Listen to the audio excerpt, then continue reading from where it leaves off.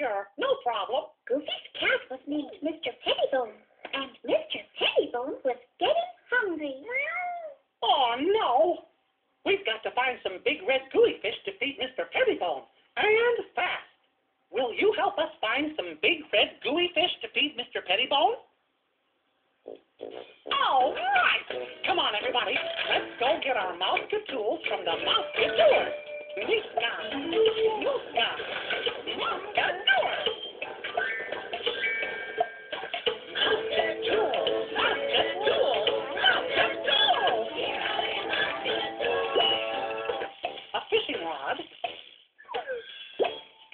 Binoculars.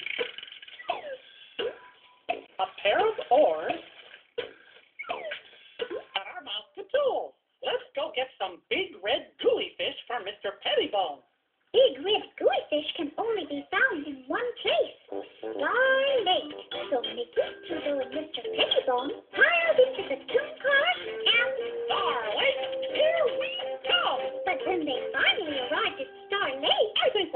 away to see the big red gooey fish in the water.